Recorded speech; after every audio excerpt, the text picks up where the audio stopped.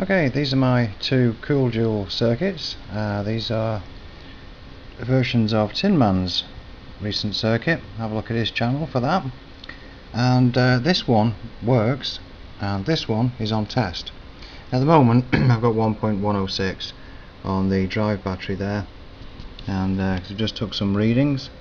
And uh, this one started out 1.008, 0.639 and they're now at 1.2 and 0.816 so they've gone up quite a ways oh and in fact uh, here's all my writings down over the past day or so on this one. And the problem was the light went out and yet it still carried on. And I think it's to do with the wire I found out that if I move them around close or further away the light output intensity changed. And also if I touch the resistor which in this case is a 100 ohm uh, this one uses a C3198 and it's the GR flavour of that.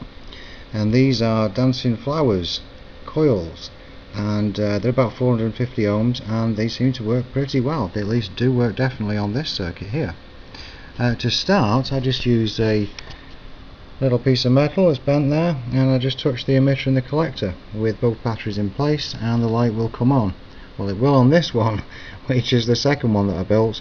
At the moment I'm testing a 9014 and uh, it started at 1.099 1.201 and they've gone up to 1.106 and 1.202 so I'll leave this running a little while and then I've got a 2222A to try as well but uh, that's where I'm up to with these. And like I say the dancing flower coils might be the easy way around getting some decent uh, high ohmage coils.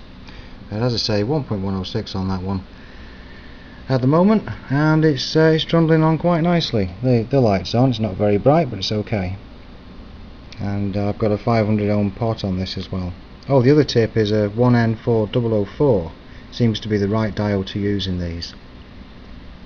Okay thanks for watching